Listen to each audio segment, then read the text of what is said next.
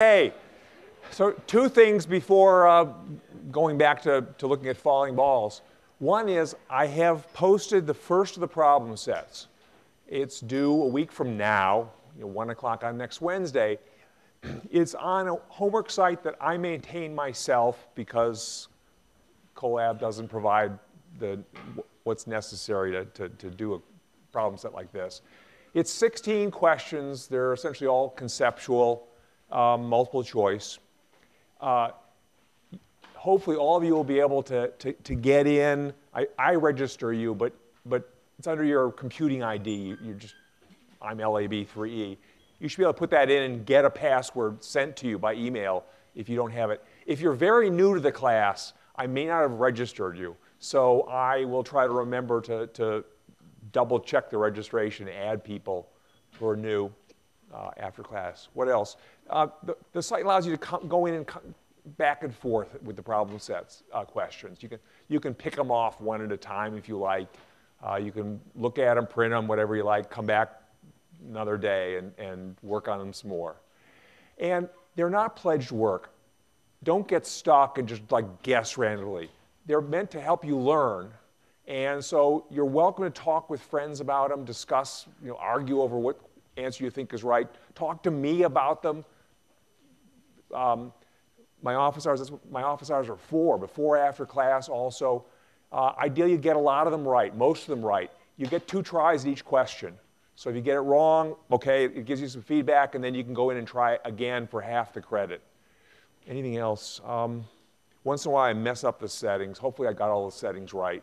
There are a lot of settings uh, to, to, make them run smoothly.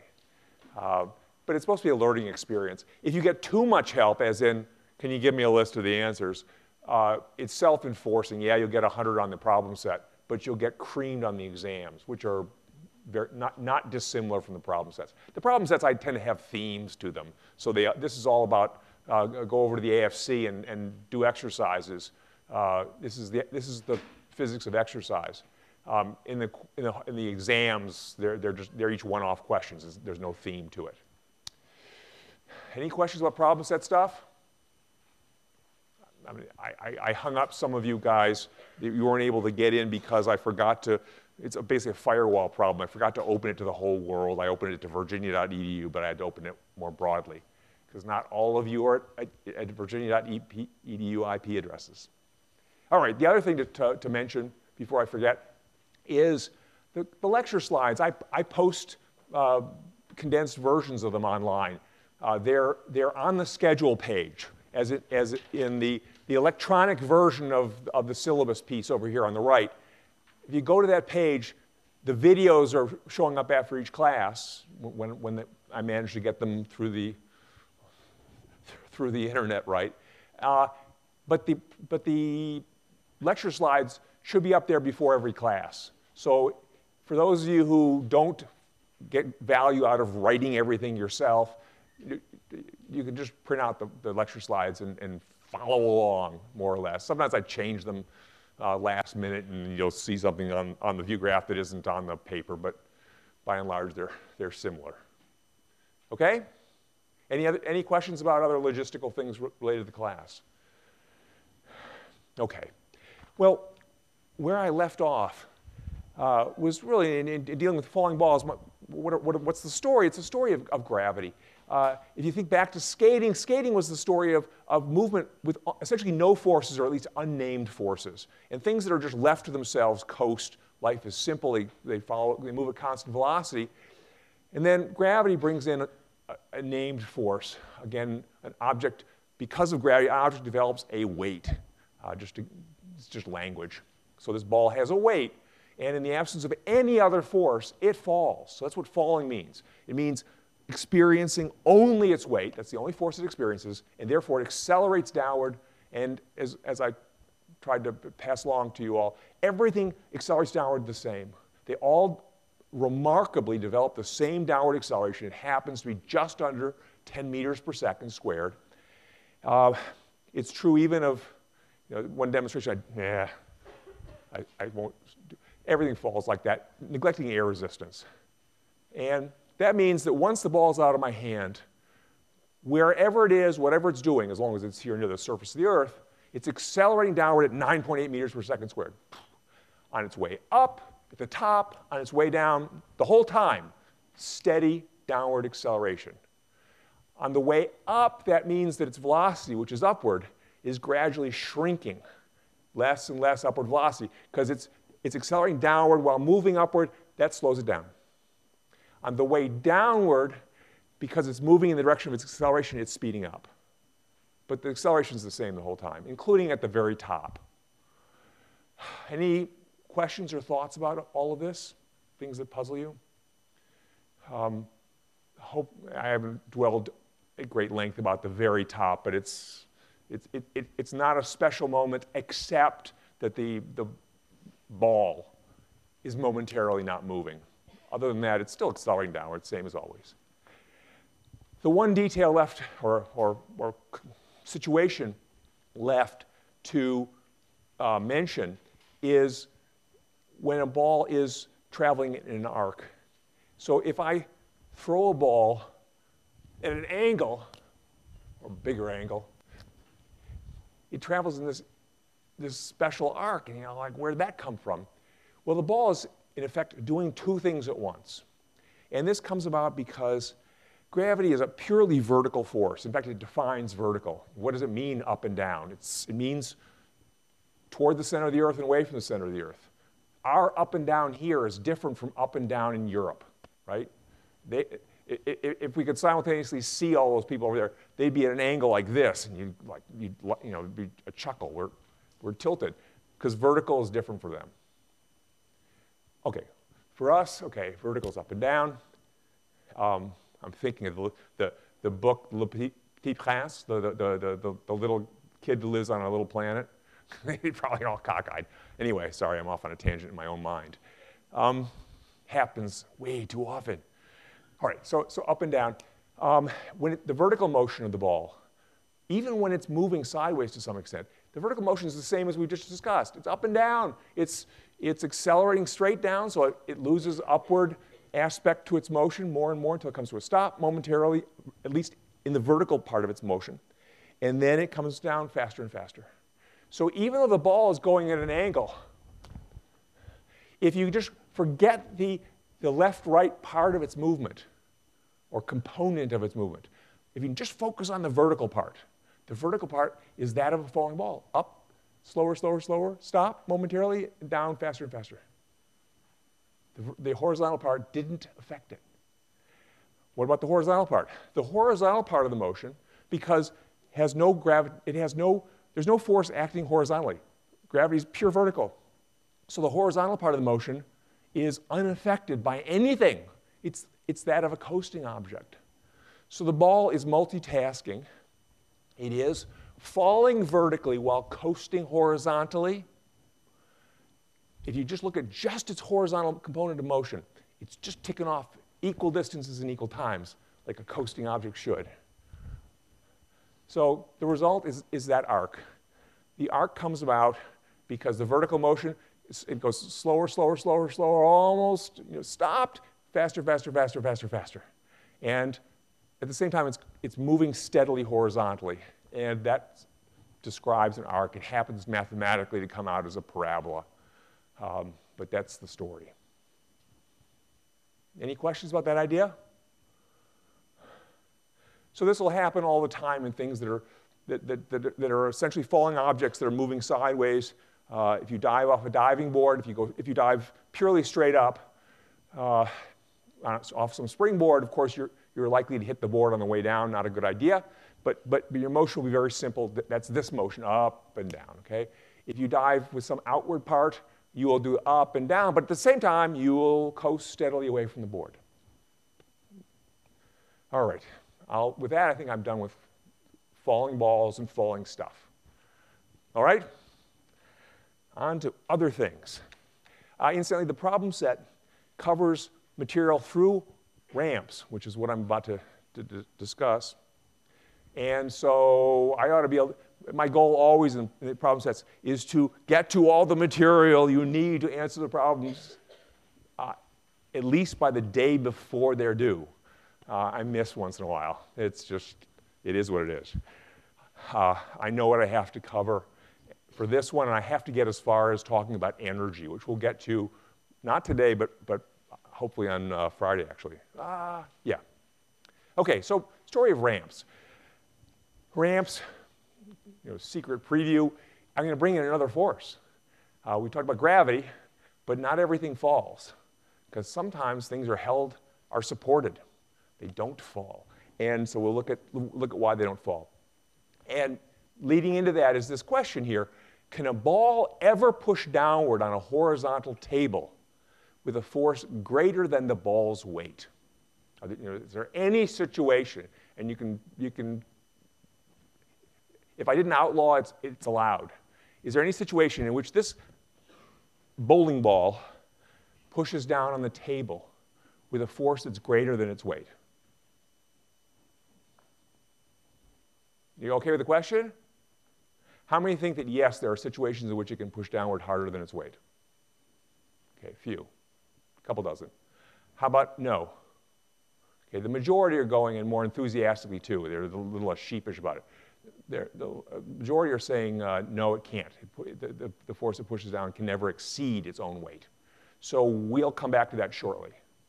All right, that one, that one, we got a pretty good spread, but you know, it's more of a commitment than it is about dis distribution. It's sort of evenly distributed. Okay, some observations about ramps. First off, it's, it's difficult, you know, why a ramp? It's difficult to lift something really heavy, a wagon full of stuff. Um, straight up, your new 80 inch flat screen. Too heavy to go straight up to your fourth floor uh, dorm room. Uh, it's easier to go up a ramp. So, of course, you order you know, Hertz rent a ramp and you roll it up the ramp and get, and then you have to tear apart the window. But okay, something about the ramp is making, is facilitating this, this lifting motion. Um, and it seems like it's all free, but maybe not. There are some issues like you got to go a long distance along that ramp. It's not a short ramp anymore. It's a long one to get, to get you easily up to the fourth floor. Uh, the, the amount of the push needed to push a, a, a, wagon up a ramp depends not only on what's in the wagon, in, in fact, its weight, but also the steepness of the ramp. The steeper the ramp is, sort of the more like a, a ladder it is, the harder you have to push. So you can make a very shallow ramp, and it's easy to push even tremendously heavy things up it. We're neglecting friction instantly. Uh, so, so there's a sort of a trade-off, the steepness and, and the how, how hard you have to push. And those are my observations. Right, all, all pretty familiar. Uh, so the questions to go after in looking at, at ramps, like put the baseball away. Why doesn't a wagon fall through a table? Uh, or, or through a sidewalk. So right now, my, my wagon here, this is, the, this is the sidewalk, there's the wagon. The wagon has a weight, and we know if that were all we're experiencing, it would accelerate downward at just under 10 meters per second squared. But it's not. It's, it, it's, it's sitting there. And the weight hasn't vanished, but the, in reality, it's experiencing a second force. And as I said way at the beginning, Forces cause accelerations, but it's not individual forces, it's the sum of all the forces. And in this case, there are two, and they sum to zero. Uh, one of them's down, one of them's up. And when you sum two forces, remember forces have direction, they're vectors. When you sum these two, they happen to add up to zero. And the result is it's an inertial wagon, meaning it's experiencing zero net force and it's not accelerating. It's following Newton's first law of motion, an object that it moves at constant velocity, zero. Oh, that okay? Followable? All right, where did that second force come from? So I can guess I can flip ahead to this. The second force is, it's got various names. My preferred name is, a, I call it a support force because it kind of makes sense. Uh, not all support forces are vertical, though. I should be, you know, it's a little bit iffy. The other names you may have encountered it under are contact forces and normal forces, where normal is a mathematical term. Um, what, it, what it is, is, is that wagon, which is trying to fall, gravity would lo- love to have it fall, the gravity, the, the, the, wagon, if it were to fall, would begin to, to dig into the, to the sidewalk. They would be, the wheels and the sidewalk would, begin to overlap in space. And one of these things that nature kind of abhors, you know, abhors a vacuum, and it, it hates having two things occupy the same space at the same time the ultimate re reason for this, the, the overlapping being a, being a problem is electromagnetic in, in origin. We'll, we'll, we'll deal with electricity and magnetism and all that stuff, but you, but you, you surely know that the materials made up of atoms, and atoms have things inside that, are, that carry what's known as electric charge, which is in our, our future for this class. And if you start shoving all these little parts on top of each other, the net result is repulsion. They hate it. And so the wagon wheels and the sidewalk act to not occupy the same space. So, so, the, so the, the table pushes, the, the uh, sidewalk pushes straight up on the wagon. Support forces act exactly away from surfaces, perpendicular surfaces. Hopefully, you, you have some sense of what perpendicular is. Uh, perpendicular is, is, is, the ultimate of right angles. So if, if, uh, if a surface is horizontal, that's perpendicular to the surface. If the surface is vertical like this, that's perpendicular to the surface. This is, it's, it's at right angles in every respect. So what, what it is, is, is, in this case, my laser pointer in the book, are, are trying to avoid overlapping. And the most direct way in which they can, they can do that is by pushing apart perpendicular to one another. Pushing along the surface like this. Those for, that's not the support forces. That, that will come to, that's friction. It's a different, it's a different kind of force. Um, support force is the overlap problem. Friction is the sliding across problem. All right? So because the sidewalk in this case is exactly horizontal, the, the support force it exerts on the wagon wheels is exactly vertical, perpendicular to horizontal. Okay? Um, anything else I want to say about it? Uh, it, it, we, we observe that that support force from the sidewalk on the wagon exactly cancels the wagon's weight. We know that because it's not accelerating. All right? Uh, make sure it's not accelerating is different from saying it's not moving. When I get it coasting, eh, eh, like, like a skater,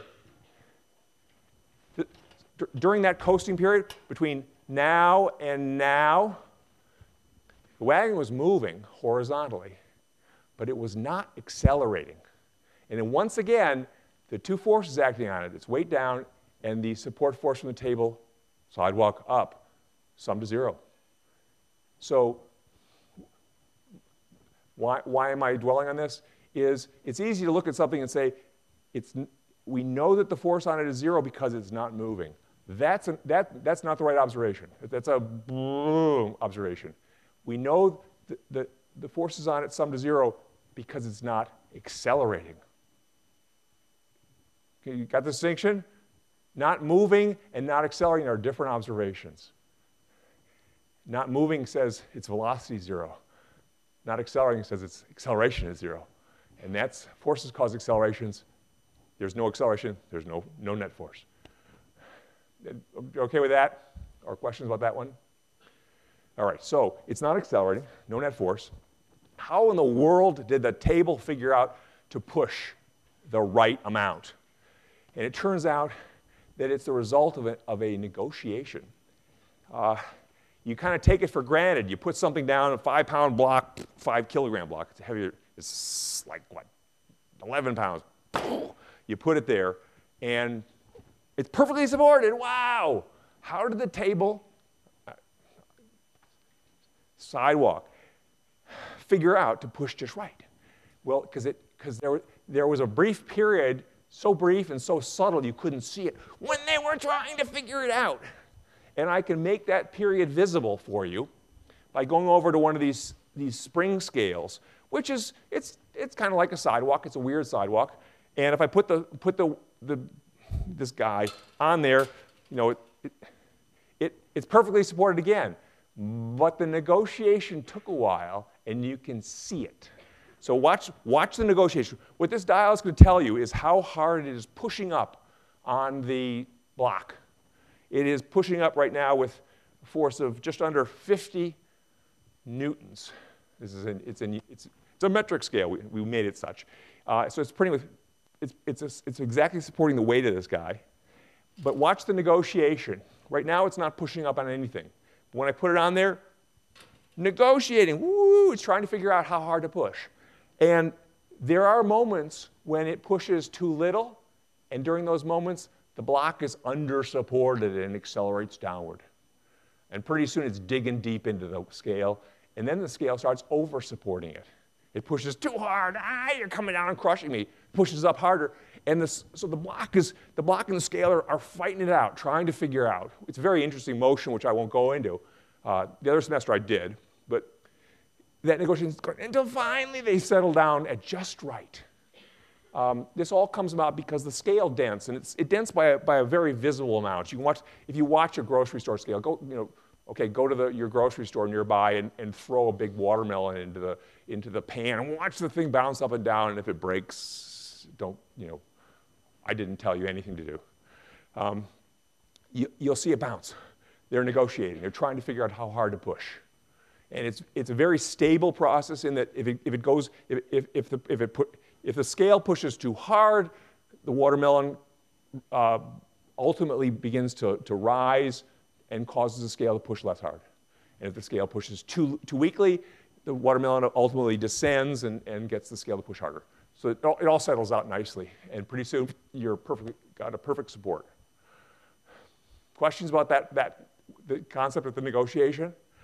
I mean, these are some of the things that you take them for granted in, in an ordinary uh, physics course. They're often just swept completely under the rug, but they're really there. Um, in a sense, it, it brings up questions like, well, what happens when an immovable object encounters an irresistible force? Well, you have, you have picked two impossible, you know, physically unrealistic situations, uh, elements. You're, there is no such thing. Similarly, uh, the sidewalk. You know, what happens when you put a, a wagon on a completely undentable sidewalk, just absolutely rigid? Well, there is no such thing. Everything, sidewalks, diamonds, they all dent a little bit when you push on them. And they do the negotiation trick, not as, not as uh, visibly as the scale does, but, uh, but there, it's there. So when you put the wagon down on the, on the sidewalk, ooh, it's bouncing up and down settles out. Okay? So the, uh, uh, to name the situation, because it may be useful to us in, in the future, when you're in a situation like this where all the forces on the object cancel to zero, net force zero, no acceleration, the object is at what, what we call equilibrium. Synonymous, or you know, it's the same idea as, as zero net force. So the, so the wagon is at equilibrium here. During the negotiation, it wasn't at equilibrium. There were moments when it was, had a net force up, and in which case it accelerates upward. There are moments when it had a net force down, which case it accelerates downward. And it was working on it, trying to figure out just the right spot to be, to be at equilibrium. And it's, it's got there. It's arrived there. All right? That's what equilibrium is. Zero net force. All right. Uh, okay. Well, we have the sidewalk pushing up on the wagon. What about the wagon and the sidewalk? So this brings up a question here, which is if you push on a friend, former friend, is there any case in which your friend will not push back on you? Okay, the question? Can you push on them without them pushing back on you? How many think yes? How many think no? Okay, I can say try it and then I'll get in awful trouble. If you want to try on your own time, do so. Okay? I didn't tell you that either. Um, the answer is no. If you push on them, they have to push back. They can be sound asleep. They can be completely lost in their cell phone. They still will push back. It's unavoidable. Um, it's called Newton's third law, uh, or it's an example of Newton's third law you know, it's the famous action reaction which is used so vaguely in so many circumstances that it's, ah, you know, is it really Newton's third law anymore? I don't know. This is the real Newton's third law. The real Newton's third law says that if object A pushes on object B, so it's exerting a force on object B, object B will always exert a force back on object A. And the force that object B exerts on object A will be equal in amount to the force from A to B, but in the opposite direction. It will push back, react. Is that okay? Completely, you know, exceptionless. It always happens. And to illustrate this, okay, I'll, I'll, I'll, I'll invite two people to come up here and try experiment with pushing on each other with scales. Can I get two volunteers? Two volunteers, I'll be more assertive here. Please. Victoria. And who else? And Kristen. Okay, thanks. So the, here's the idea. I'm going to give each of them a spring scale and let them push. So, so for example, me, if, if I were to push on one of them with the spring scale, you would see how hard we're pushing. Why is it reading over? You know, it's, it's tippy. So, Kristen, hi. You get, you get one scale, okay. and, you, and you can hold it so, so the face is visible. And you come, come on over here, Victoria, and hold the second scale. And, and if you tip them so that you can push on each other, we'll be able to see how hard Kristen is pushing on Victoria and how hard Victoria is pushing on Kristen. And, and the, go- the goal is to see can you ever push with different amounts of force? Is there anything you guys can do? You can see the, see the values of the forces, hopefully. They're, so whenever Victoria exerts a, a 20 Newton force, Kristen can't not exert a 20 Newton force. It's just not, you just can't do it, right? It's, it's, I'm giving you a hopeless situation to torment you guys. Thanks. Okay, I'll let, I'll let, I'll let you stop. Uh, well, actually, I'll, I'll, I'll be the, the, the, goofball that rides the card here. Um, can one of you, Kristen, st- stick around for a sec? Okay. The card says, do not stand. And I stand anyway. Okay? So now you get to push on me. And the issue is, is there any way that you can push on me with a different force than I push on you? Even though I am going to accelerate, right? Off I go. Presumably they were exactly even. I'm going to come back. Ha ha! I'll get you. Woo! Okay? You held the needle though. But know, the point is, oh. yeah, I'll try again. Okay. Exactly equal forces. Even though I was, I was moving toward Kristen, away from Kristen, I was accelerating during this, doesn't matter. The forces are always the equal opposite. Okay, I'll stop. Thank you very much. I'll stop tormenting you. Thanks, guys.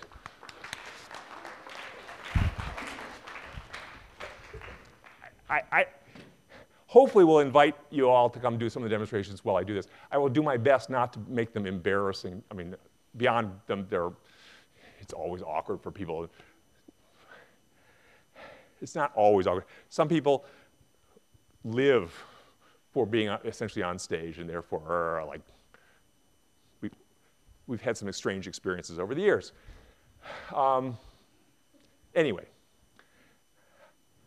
the point of this whole exercise here is that there is no way Kristen can push on Victoria and not have Victoria push equally hard in the opposite direction on Kristen. Every time. It does not matter whether somebody's moving or not. It doesn't matter whether somebody's accelerating or not. And these are situations in which you can, you can convince yourself that those two forces should not be equal. And the, the truth is, I've had instructors teaching how things work elsewhere uh, say otherwise to me. Say that there are situations where they don't match. And it's a little, oh no, they always match, okay? It's, um, so as in, even instructors sometimes just don't believe that, believe that reality. You okay with the idea that, that you push on something, it pushes back equally hard? Uh, what that means in this circumstance is that the, uh, the sidewalk is exerting a force upward on the wagon that is equal to the wagon's weight. Uh, it says equal in amount to the wagon's weight. I have to use the language carefully. equal in amount means we didn't specify direction. Uh, so it's equal in amount, it happens to be upward. Okay? We now therefore know how hard the wagon is exerting, is pushing on the sidewalk. It's pushing back equally hard because that's Newton's third law. If the, if the sidewalk pushes up on the wagon, the wagon can't help but push down on the sidewalk equally hard. And in this case, it's pushing downward with a force equal to its weight. And we know that. The, the, here's the whole logic of how we know that it's pushing down with a force equal to its weight. Because the force it's exerting on the sidewalk is not literally its weight. Its weight is a force exerted by gravity on it. And it's reaching, gravity reaches into all the atoms and molecules and pulls them down. The force that it's exerting on the sidewalk, the wagon is exerting on the sidewalk, is a support force. It's not gravity, it's a support force. And it happens to be equal to, to the wagon's weight because, because the wagon's at equilibrium, meaning that it's perfectly supported by the sidewalk. So the sidewalk is pushing up just right to support it. Well, it's pushing back on the sidewalk. And if the sidewalk is exerting an upward force equal in amount to the wagon's weight, the wagon is exerting a downward force on the sidewalk equal in amount to the wagon's weight. All right? That's why the, the wagon is pushing just right, just equal to its weight. Can, can you see the distinction between the force of gravity on the wagon and the force of the wagon on the sidewalk? They're two different forces. They happen to be exactly the same amount and direction.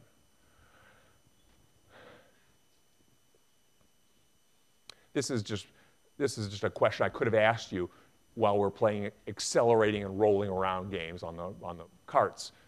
And there's just no way that two people can cannot exert equal but opposite forces on one another. Okay, having said this about Newton's third law, I want to bring up, hmm, I, will call it a miscon misconception alert. And here's the, here's the potential misconception.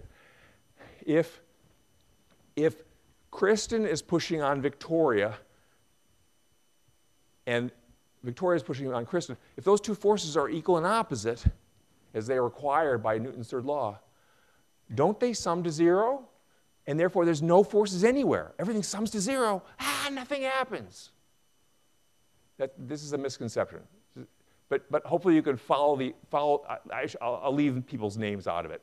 If I push on the wagon, the wagon pushes back on me, and those two forces are equal in amount in opposite direction, don't, don't they sum to zero and cancel, and, no, and nothing happened?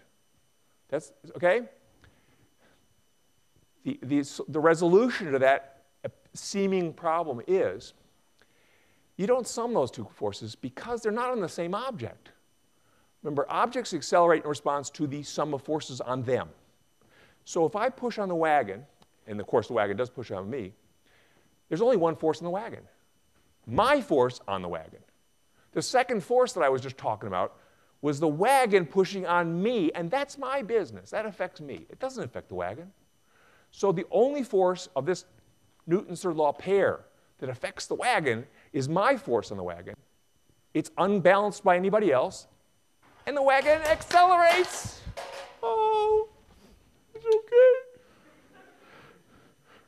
Sorry, wagon. I'll bring out later, not, not today.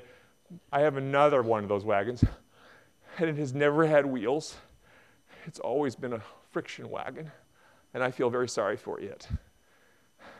And believe it or not, I've, I've thought of exchanging wheels with this guy just to give it a chance. All right. Anyhow, that's my craziness. Not, it's, it's, not too real. Don't worry. I'm, I'm not likely to go uh, show up in a clown outfit next time. Um, anyway, obviously it accelerated in response to my one and only force on it. The other force in the pair was on me, and that, in principle, would cause me to accelerate, but in fact, I've got so many other forces on me you didn't notice. You, you, you okay? You understand how Newton's third law pairs never cancel because they never act on the same object and you never is never appropriate to sum them. Okay. Yes, Fiona.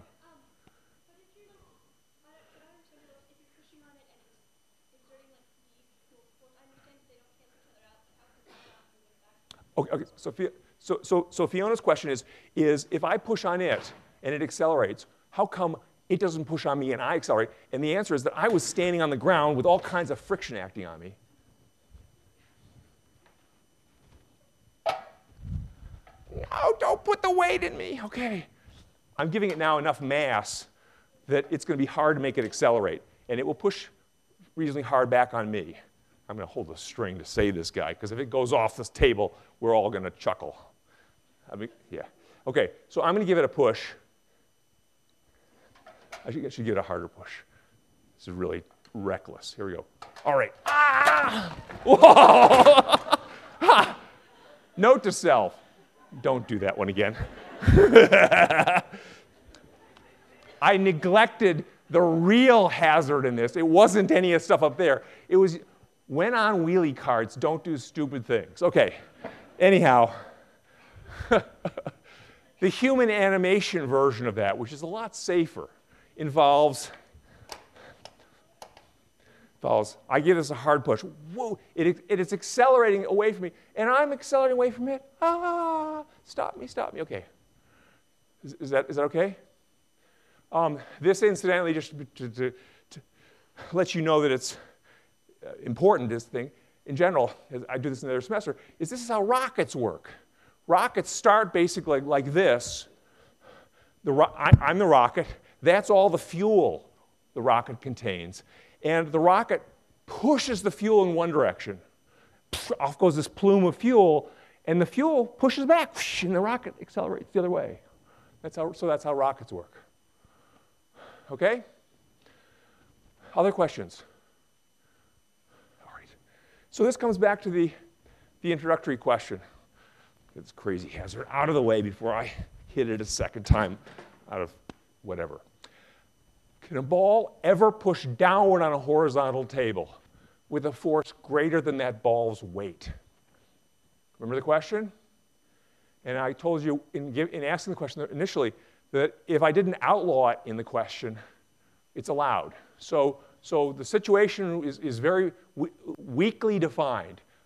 Ball, table, can the, ta- can the ball push harder than its weight on the table? You okay with the question? How many think yes? How many think no? Still a majority going for no. So, can somebody who voted for yes suggest a way in which it might be possible for that ball to push downward on the table with a force greater than its weight. Samantha. Ah, so, so, so Samantha's observation is if I push on the ball, then of course the ball is going to exert a force not only equal to its weight uh, because of the supporting process, but also my add addition. So, so that's, that is true. It wasn't the version that I had in mind, and I, and I should edit this, but it's, no, it's good. It's, it's good. So let me, let, me, let me edit the question. Should have done it long ago because this comes up. Can it ever push harder on the table than its own weight with no one else touching it? Nothing touching it. If it falls on the table, ready? How hard do you think it pushed on the table during that impact? Really hard. Thanks. Yeah, this is exactly right. Um, there was a moment there where it was pushing down with probably thousands of pounds of force. Huge. The, the, the, these are often called impact forces when something hits something. The physics of that's pretty, well, is, is important and, and not, very, not very complicated. When I dropped the ball, it was briefly experiencing only its weight, so it accelerates downward faster. It's going faster and faster and faster downward. And then it comes to the table, and the two are looking at each other going like, you're coming here? Bad news, okay? So the two begin to overlap in space, and they begin the negotiation process, trying to figure out the table says, I'm going to support you, but, but we have to figure out how hard to push. Well, during that early part of the negotiation, the ball is moving downward quite fast, and the table has to, has to bring it to a stop and get it to equilibrium. So, but, but it initially doesn't push hard on the ball. The ball's moving downward fast. The ball goes deep into the table during its first uh, uh when it first encounters the table. It goes deep into the table, dents it hard, dents it deep, and causes the table to push ferociously back on the ball. So it's, it's this negotiation process it's, it, there, there's a gentle version. If I dropped it from here, the negotiation would be horrendous. It would involve tremendous upward and downward forces. Briefly, it would break the scale, of course, so I'm not going to do it. But it's, it's that negotiation going on. The early stages of it can involve huge upward forces from the table on the, on the ball. Is that okay? Uh, to put this in a con- you know, con- other context that you would, would encounter, gravity was actually a, a, an unimportant player in the story except to get the ball moving fast. The same thing happens. I'm not going to throw a baseball at the wall, but, but, but when the ball hit, hit, hit the wall, that same process is going on. There's no, there's no equilibrium to go to. The ball just never wants to remain in contact with the wall at all. But there is a brief period in which the two are trying to overlap, or, or you know, they're, they're, they're starting to overlap and they push apart ferociously by way of support forces, and the ball therefore slows to a stop.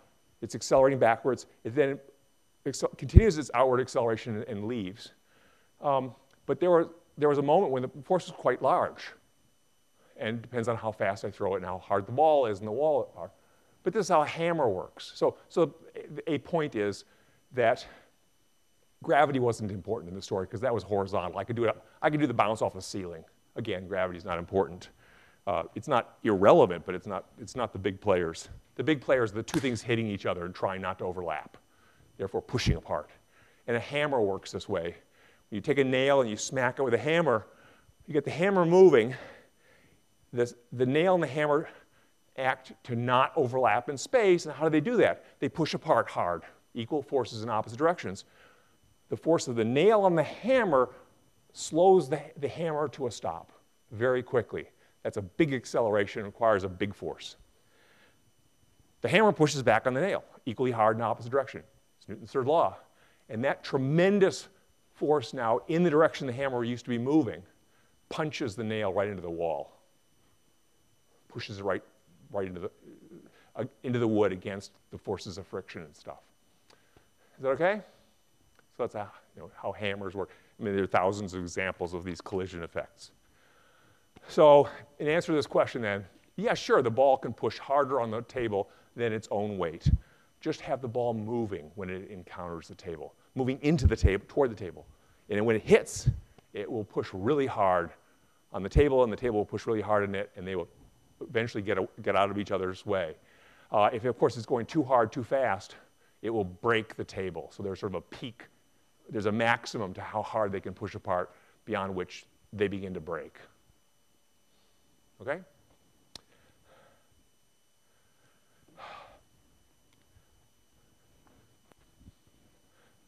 Another part. This is probably a good, way, good place to, to end at. Can a table ever push upward on a water balloon with a force greater than the balloon's weight? We already see. How many think yes? How many think no? Okay, the voters, the voting is, uh, is midterm. Um, not even. It, the general agreement it, that yes, it can push upward, that the table can push upward on the, on the water balloon with a force greater than its own weight. So, so here's a water balloon minding its own business. The force upward on the water balloon right now is equal in amount to the balloon's weight. We know that because it's not accelerating. But if I drop the water balloon on the table, so it's going downward, the table is going to push upward on it very hard to stop it. That, upward pu- that big upward push is going to cause the balloon to accelerate upward. So it's not at equilibrium anymore. So the force, the net force on it isn't going to be zero. It's going to be upward. It's going to be slowing into a stop. And that net upward force, you okay with the upward force being, being quite large when it hits? It's the same story I've been telling you before. I'm, I'm bringing in maybe some new, some new ways of saying it, that it's not at equilibrium anymore. And if the balloon can tolerate that, I mean, the, the, it was okay for the, for the bowling ball. Is it okay for the balloon? Not so much. So here we go. All right, so I didn't break the balloon. The table did it.